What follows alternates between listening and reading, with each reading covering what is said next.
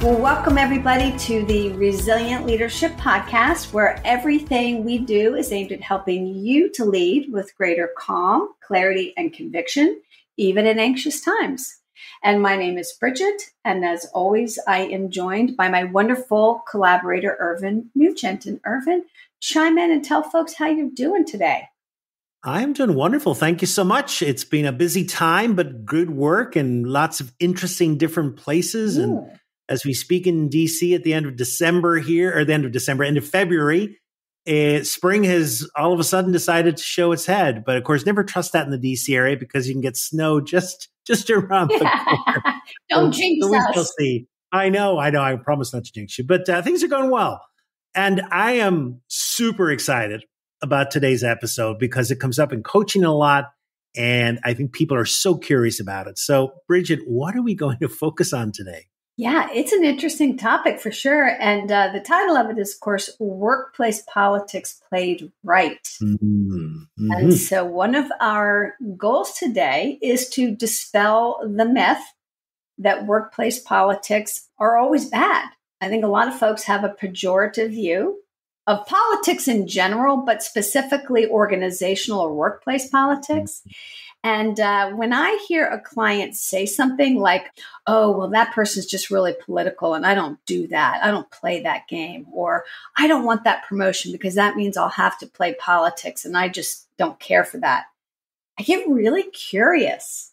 Uh, mm. I pay mm. attention to that because it's often mm-hmm. a red flag for me. And we'll discuss why that is the case because, you know, truth be told, politics in the workplace are not inherently bad. It depends on how you play them.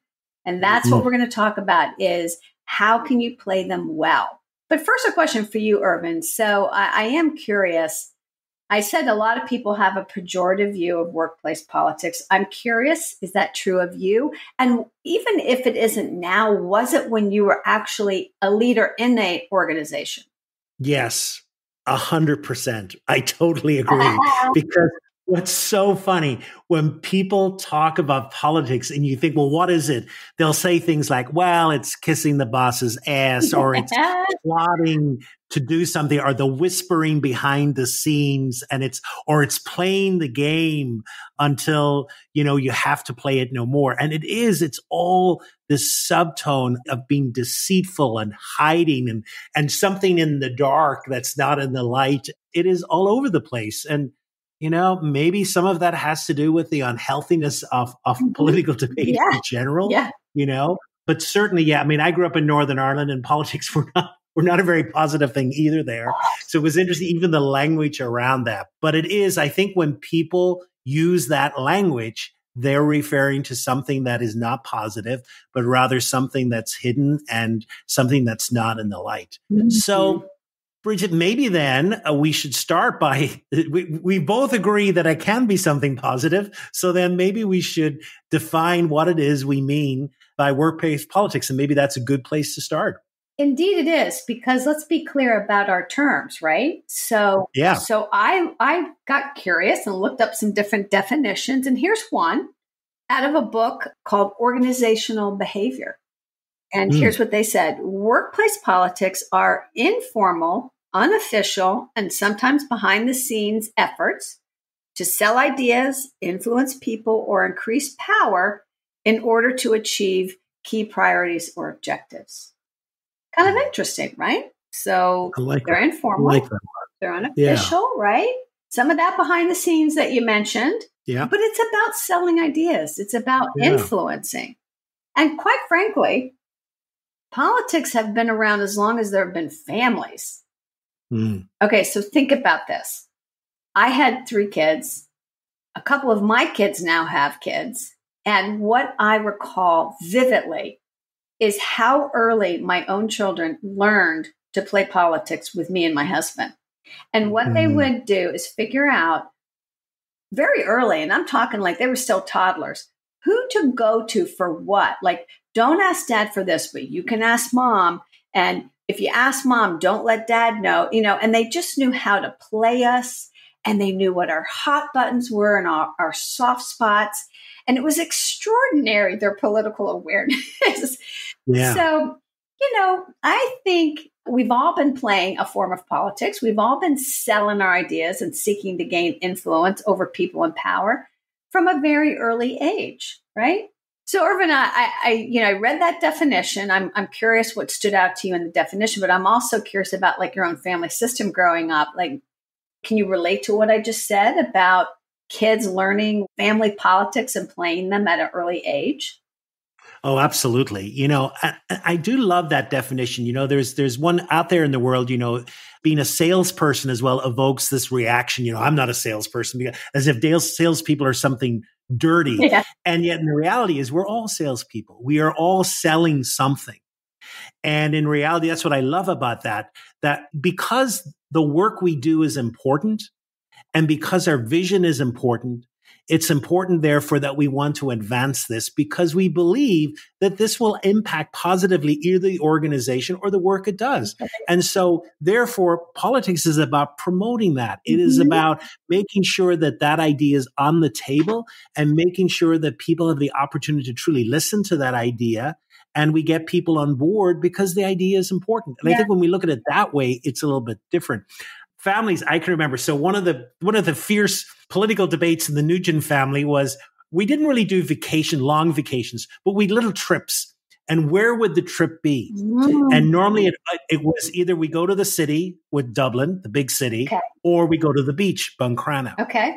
And we, what we knew, there was five of us, four, four girls, myself. We knew that mom had the most influence. That really, she really made the decision, although dad was. And so we would absolutely politic her, you know, about, well, we should go to the city and this is why we should do the city and this, that, and the other.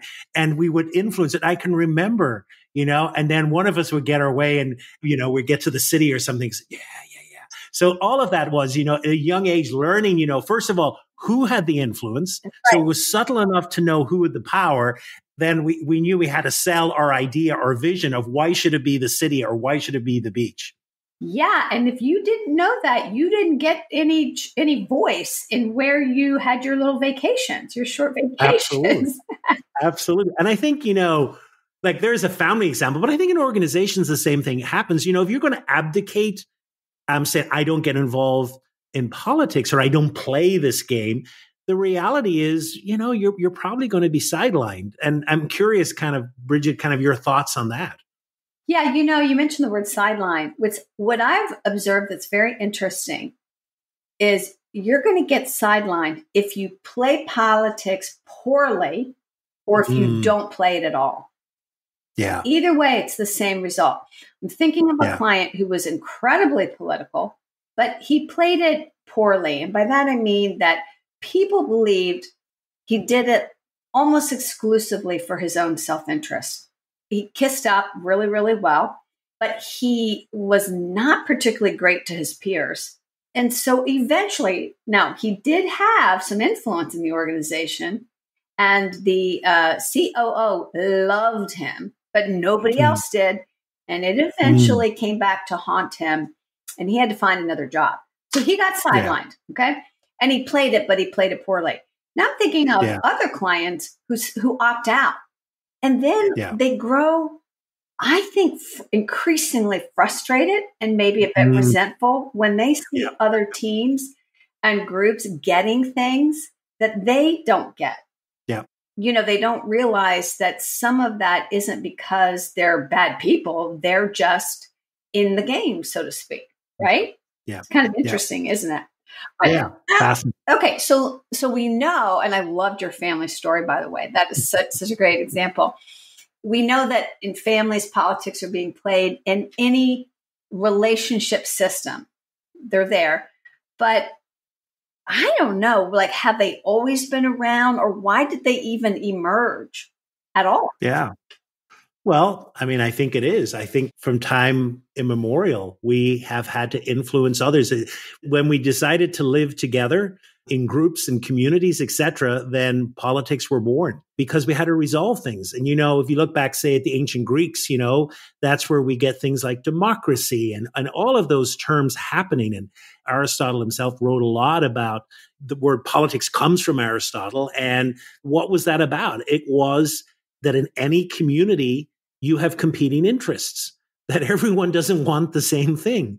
And so, how do you resolve that? How do we resolve in a community two different visions, two different needs? And so, hopefully, you have wonderful rational decision making, but sometimes, you know, that's not going to resolve anything. And so, you have these competing agendas, competing interests. And so, therefore, you know, politics is born because sometimes resources are, are scarce. You know, in a community, where do we put our resources? Do we put it for this or do we put it for that? Right. And there's disagreement. And so naturally, therefore, we have politics and politics helps us come to a decision. Not necessarily that everyone disagrees, everyone agrees with, but a decision that that we can go through a process of really discerning where we're going to put these limited resources for our own interest group. And there, there is politics in a nutshell. Yeah. And of course, if you think about that notion of competing interests, competing agendas, um, scarce resources, I mean, that's what goes on in any workplace and organization is that Absolutely. inevitably you yeah. have differing viewpoints and you have differing interests. Whether yeah. you work in an office with 10 people, 30 people, or 30,000, you're going to yeah. see some form of politics, which, as you're describing, Irvine, originates or arises out of a need to resolve these competing interests when the rational system has failed mm. to do so. So we have yeah. all these rational system processes in place, like strategic planning offsites and, and budgetary processes and recurring meetings. And we, right, we come together and we try to figure out, okay, what are our priorities and, and how are we going to allocate resources? But sometimes we even when we think we've come to agreement, we find out we really haven't, you know? And so then people, to your point, aspire to advance an agenda that they care about. And they're going to find a way to do it. And now, how they do that, informal advancing of the agenda matters, but doing it in of itself is just a fact of organizational life. So you can eschew politics all you want, but it's kind of like saying, I don't believe in the sun, you know, doesn't get you very far, right? Okay. Yep. So here are two interesting statistics I wanted to share with you, Irvine, about organizational politics. In a survey done of managers, 93% of them reported that workplace politics is a part of their life, their everyday workplace experience. Okay? And 70% of those same managers felt that in order to be successful, a person has to engage in politics. That's kind mm. of interesting, right? What do you think? Absolutely. Because if, if, you know, that beautiful definition about politics we just mentioned really is about, it's about these relationships. And ultimately, you know, we've said time and time again, organizational life boils down to sets of relationships that we're in. Right. And in those relationships, we are influencing each other. Influence is not a dirty word. and so therefore part of that is putting together a coalition for, for an idea and, and bringing people together. And so what are good leaders? Good leaders are people who have the power to influence others to bring them along in a certain vision or a certain way. And so a lot of that is we don't necessarily associate that with politics, but it is politics. Sure. It is this ability.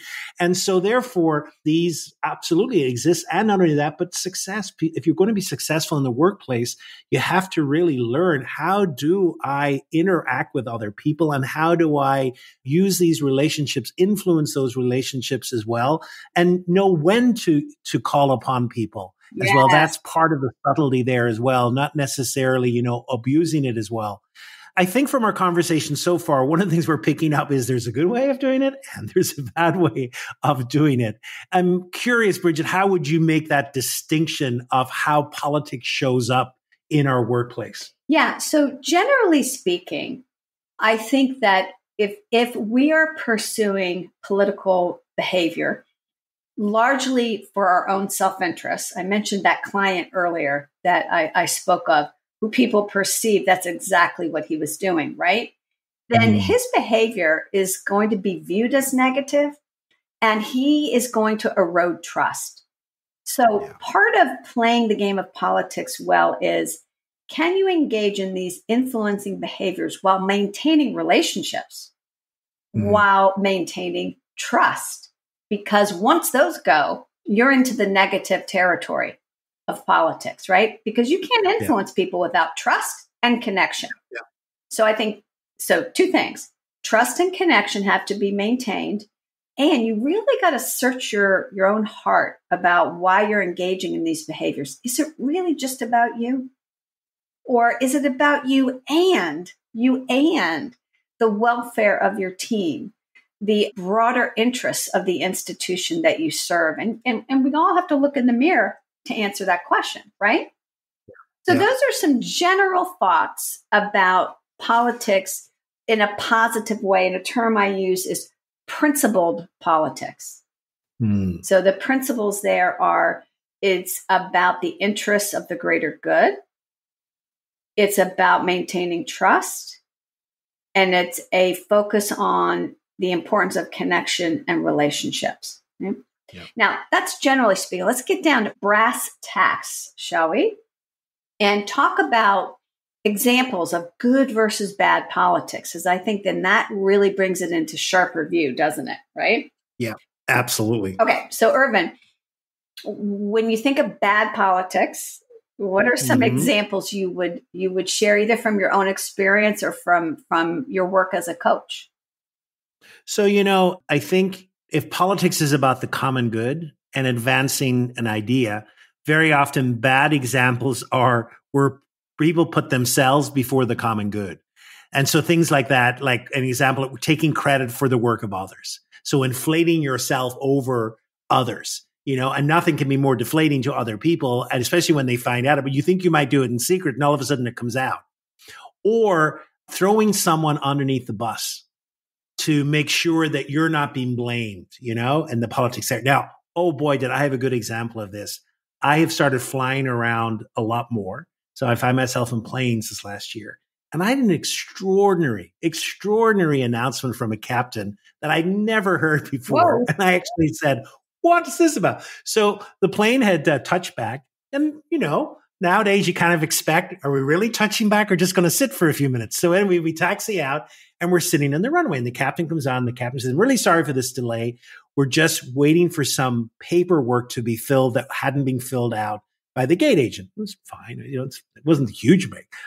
So we're waiting there about 10 more minutes and the captain clearly is a little annoyed. And he, comes on again and says, we're just trying to get this resolved. I'm very sorry. And then finally he comes on about five minutes later. It's now resolved. I just found out it's the gate agents. The gate agent is new and obviously doesn't know their job. So I invite you to write to United to complain about them. And I was like, wait a take one for the team oh, there. It, it, was it was extraordinary. I'd never, you know, and there was an example of bad politics, like leaving a bad taste in your mouth Ooh. and someone who who wasn't able to take the team with them. The other one then is a little sneaky, and we do this all, we see this all the time of passing the chain of command. So if you can't get your way with one person, then can I get to that person's boss or someone of influence above them to get my way without having the, you know, the honesty or integrity of going to the person? Turf wars. You know, sometimes making bigger vision decisions requires we have to give something up. Yeah. And that's a risk. And so sometimes we want to hold on and we want to keep that. We don't want to give anything up. We want to gain everything, but not give anything up. Mm-hmm. And then, you know, another one that I see is the meeting before the meeting. So sometimes, you know, um, let's make sure we control the outcome here. And so let's make some decisions and then go in with a fait accompli. Yeah. Which, of course, then people are like, what was that? What yeah. happened? Where did that come yeah, from? Yeah, I didn't even, so people are thinking, I didn't even hear about this topic. How, how yeah, is it that five out of the six of us are already on board with, right? Yeah. yeah, where did that come from? so I think all of those you can see that this is what gives politics a bad name. And these behaviors is like, whoa, this is this is really it adds drama, it adds friction, it adds anxiety to to uh, organizational politics.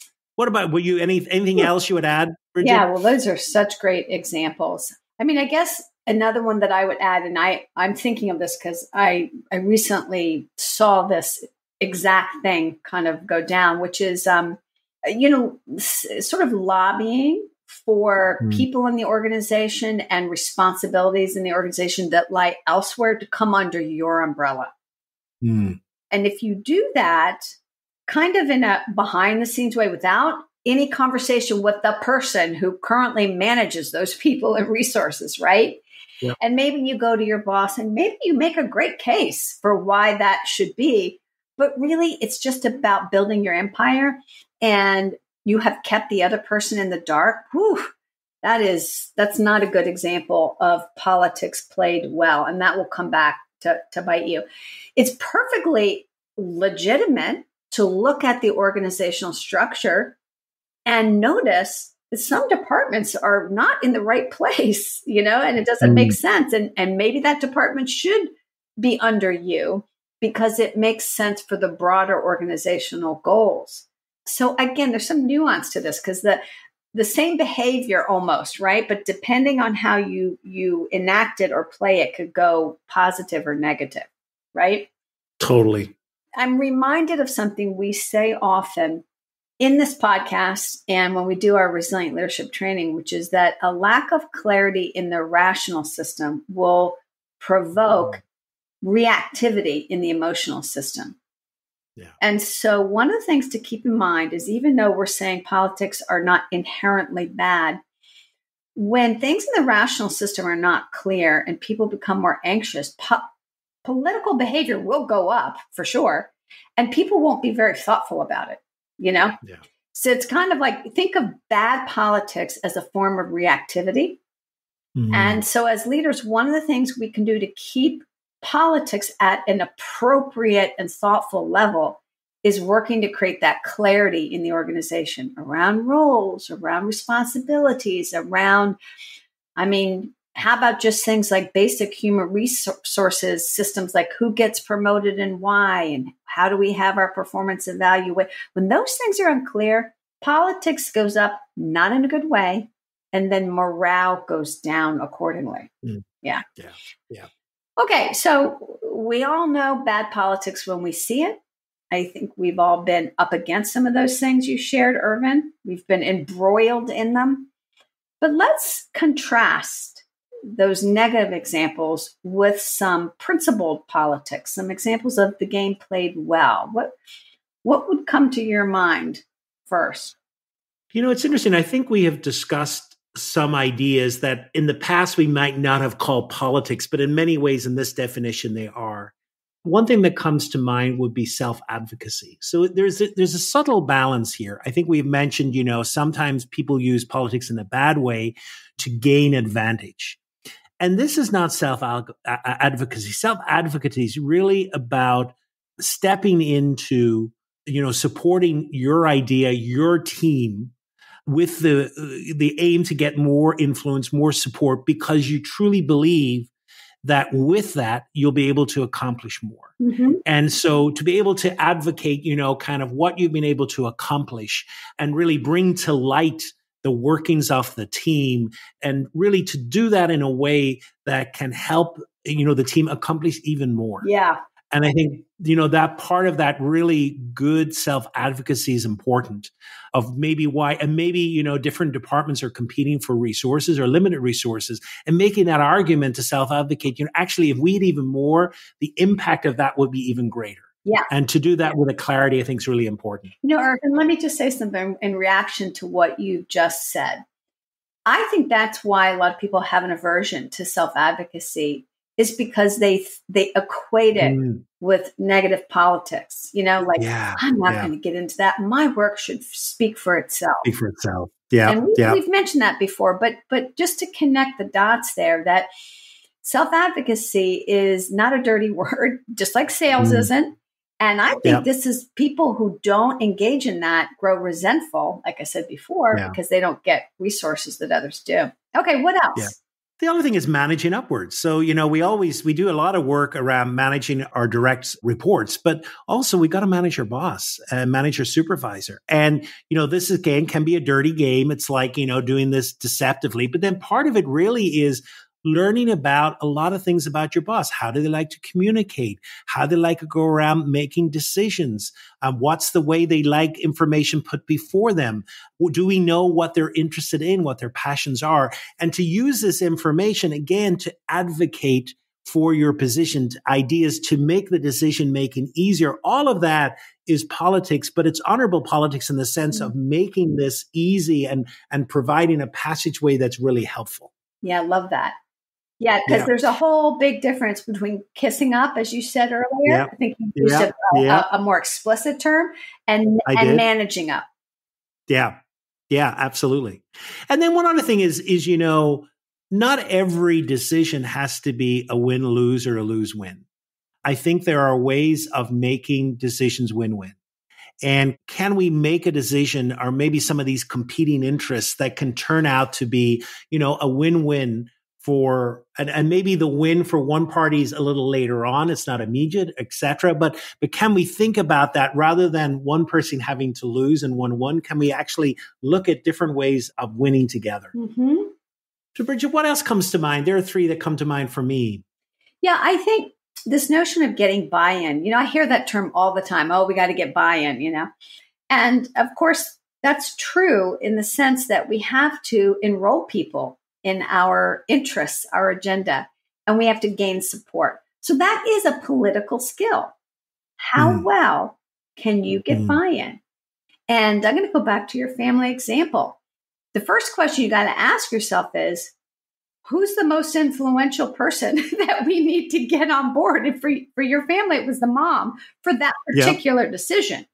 Yes. Okay. So that's a great question to ask. For this initiative, for this decision or for this idea, who is most important that we enroll? All right. Yeah. And then how do we enroll them? What would be the right way or the best way to gain their support? And how can we do that without being like you use the word sneaky, you know? Yeah. Without being sneaky or like throwing people under the bus. Because I think sometimes people get buy in in ways that throw other people on the bus, right? So, do you have the political savvy and skill to influence others such that they adopt your agenda? Mm. Yeah, that's an important skill, is it not? Yeah. Yeah. Okay. So, Irvine, I want to say one other thing, and then I'm going to invite you to share a practice with folks. And that is just a way of bottom lining all of this, right? Is the core question here is are we in the game or are we on the sidelines? If you're not playing politics at all and you think it's a very dirty word, you are on the sidelines in some regard in your career and in your ability to gain influence. And if you're playing it poorly, ultimately, you will be sidelined by people who eventually have enough of you, right? and they'll find a way maybe to make it very uncomfortable for you to continue doing what you're doing. So remember that if you are engaging in politics for the reasons, Irvine, that you shared, not purely out of self interest, but to advance a position or a, an agenda that benefits more than just you, and you play it well, then you're doing the right thing. Yeah. Love that. Yeah. All right. Now, all of that said, what might you give our leaders as some food for thought to wrap up? Well, this has been really a wonderfully provocative conversation. So I actually think, you know, you talked there about a baseline.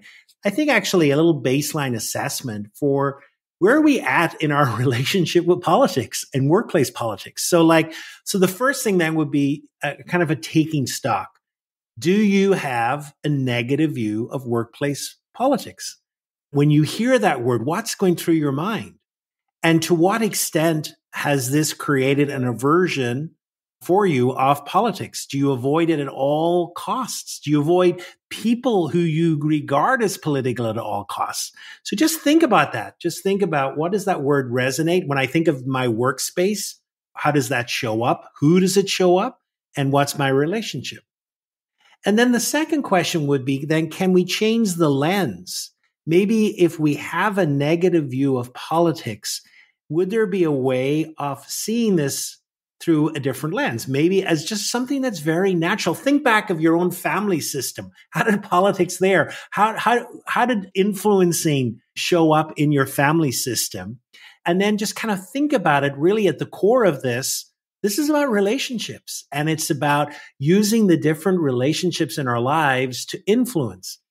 And then a last one would be then if we're averse to it and if we've kind of said, I'm going to be in the sidelines, what might be a way of us tiptoeing into the political world mm. in the workplace? What behavior could I do? What might I be able to do to influence uh, for myself or for my team? Mm. And just think about what, you know, what could I do? What would be a step? What would be a way of selling an idea, of speaking up for an idea? Like even that sometimes is, you know, notice your practice at a meeting. You know, how often maybe take the risk of saying something when perhaps you know you, you're you're falling silent about something or something you really believe in. Maybe there's a discussion going on and you really think this is important. Take the risk of saying look i really think this is important because and and putting yourself out there and seeing that as as as kind of creating good vibes around an idea. Mm, that's great. I love the way you said um, how might you tiptoe into yes yeah, yeah. tiptoe into the game right i love yeah. it Love it. Well, this certainly has been a really fascinating conversation, Irvine. And for our listeners, I would just encourage you to think about, you know, who do you know in your network of colleagues, uh, family members, friends who maybe have an aversion to workplace politics mm. and struggle with it? And um, if they don't listen to this podcast, share this episode with them. Uh, you know, our intent always is to help all of us, our listeners and ourselves, right? To find some different ways to think, to see, and to lead. So, Irvine, as always, it has been a pleasure having the conversation with you. Thank you very much. My pleasure as well. I've really enjoyed this episode, and hopefully, listeners have got a lot of it as well. And we look forward to joining you in the next episode. Take care, folks. Bye now.